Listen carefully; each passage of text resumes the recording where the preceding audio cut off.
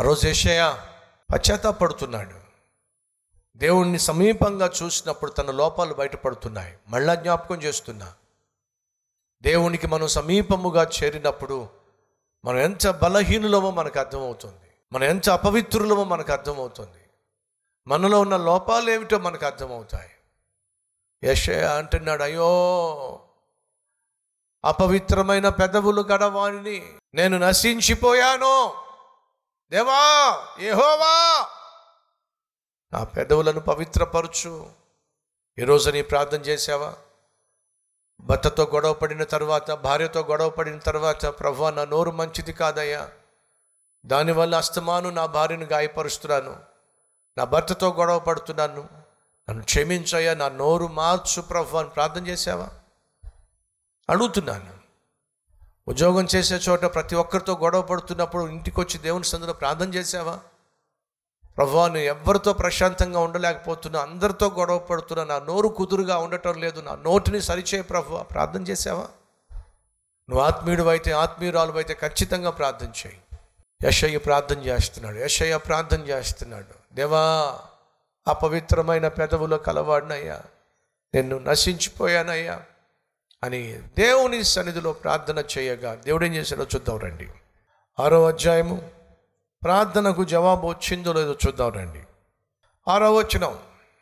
అప్పుడు ఆ శరాపులలో ఒకడు తాను బలిపీఠం మీద నుండి కారుతో తీసిన నిప్పును చేతబట్టుకొని నా యొద్దకు ఎగిరి వచ్చి నా నోటికి దానిని తగిలించి ఇది నీ పెదవులకు తగిలిను గనుక నీ పాపమును ప్రాయశ్చిత్తమాయను నీ దోషము తొలగిపోయాను. యాస్ నిజమే నీ నోరు అపవిత్రమైంది. పరిశుద్ధపరచబడాల్సిందే అని చెప్పి దేవుని దూత వచ్చి అగ్నితో తన నోటిని కాల్చగా అప్పుడు దేవుని దూత సెలవిచ్చిన మాట ఏమిటంటే ఇప్పుడు నీ దోషము కడిగి వేయబడింది నీ పాపమునకు ప్రాయశ్చిత్తం జరిగింది. మన నోర్లు కడగబడాలి. మన మాట తీరు శుభ్రపరచబడాలి. ఈరోజు మనలో ఉన్న అనేక మందికి ఉన్న ప్రధాన సమస్య మాట తీరు బాగోకపోవడం. సరిగా మాట్లాడడం చేతకాకపోవడం గాయపరిచే విధంగా మాట్లాడడం. దెప్పి పొడుపు మాటలు. ఉన్నారా మన మధ్య? ప్రార్థన అని అంటే కేవలం రోగాల గురించి ప్రార్థన చేయటం ఉద్యోగాల గురించి ప్రార్థన చేయడం ఆర్థిక సమస్యలు తొలగిపోలాగా ప్రార్థన చేయటం మాత్రమే కాదు. పరిశుద్ధ పరచబడ్డం కోసం ప్రార్థన చేయాలి. నీతిగా యథార్థంగా జీవించడం కోసం ప్రార్థన చేయాలి. యోబు తన బిడ్డలను పోగొట్టుకున్నప్పుడు ప్రభా నాకు బిడ్డలను ఇవ్వండి అని ప్రార్థన చేయడం కంటే ప్రభా నా దోషములెన్ని నా అతిక్రమములెన్ని నాకు తెలియచేయి అని ప్రార్థన చేశాడు. దావీదు ప్రార్థన చేశాడు. దేవా నన్ను పరిశోధించు పరిశీలించు. నాలో నీకేమైనా ఆయాసకరమైనవి కనిపిస్తున్నాయేమో నన్ను శుద్ధీకరించు నాయన. యశయ్య ప్రార్థన చేస్తున్నాడు. నేను అపవిత్రమైన పెదవులు గలవాడిని అపవిత్రమైన మనుషుల మధ్య ఉంటున్నాను. అయ్యో నేను నశించిపోయాను. ఏడ్చాడు ప్రార్థన చేశాడు. ఫలితంగా దేవుడు జవాబిచ్చాడు. తన నోటిని పరిశుద్ధపరిచాడు. ప్రతి ఒక్కరూ కూడా ప్రార్థన చేయాలి. నా నోటిని శుద్ధీకరించు నాయన. పవిత్రపరచు నాయన. ఎందుకని? మళ్ళా జ్ఞాపకం చేస్తున్నా. నీ ఇంట్లో పరిస్థితులు బాగాలేదా నీ నోరు బాగోలేదు. నీ చుట్టూ ఉన్నటువంటి వాళ్ళతో గొడవలేనా? నీ నోరు బాగాలేదు బంధువులతో గొడవలేనా? నీ నోరు బాగాలేదు ఆత్మీయులతో గొడవ నీ నోరు సరైంది కాదు. సరిచేసుకుందాం. మూడు ప్రార్థనలు. ఒకటి పరిశుద్ధత కొరకు. రెండు కాపుదల కోసము లేక విజయం కోసం. మూడు స్వస్థత కోసం ఆయుష్ కోసం. ఈ మూడు ప్రార్థనలు కూడా దేవుడు జవాబిచ్చాడు. ఈరోజు నువ్వు ఏ ప్రార్థన చేశావు? నీకు శుభవార్త చెప్పబోతున్నాను. ఆ ప్రార్థనకు నా దేవుడు జవాబు ఇవ్వబోతున్నాడు. విశ్వాసం ఉంచో నువ్వు కార్చిన కన్నీరు దేవుడు చూశాడు నమ్మకం ఉంచు. నేను నీకు జవాబు సమాధానము ఇవ్వబోతున్నా.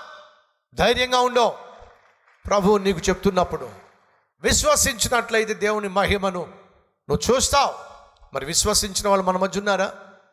ఉంటే మోకరించి ప్రార్థనలు ఏకీవిస్తారా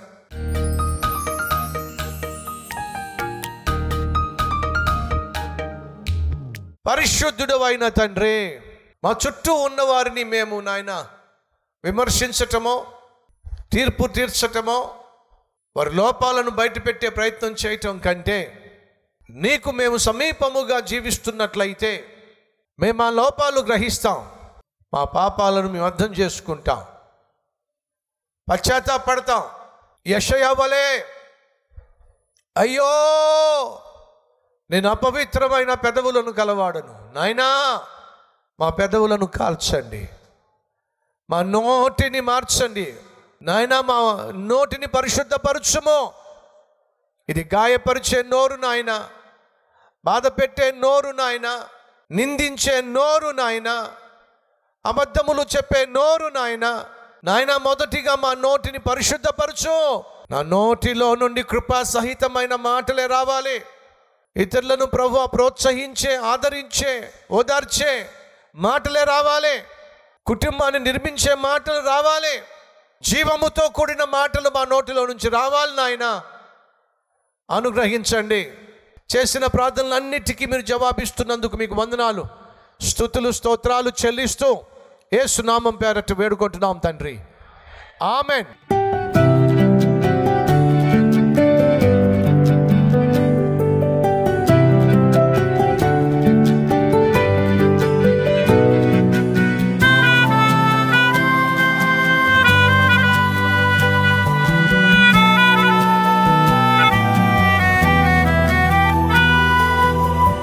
ఈ సందేశం మీకు ఆశీర్వాదకరంగా ఉన్నట్లయితే పది మందికి షేర్ చేయండి లైక్ చేయండి మంచి కామెంట్ పెట్టండి. మళ్ళీ రేపు కలుసుకుందాం. సరే.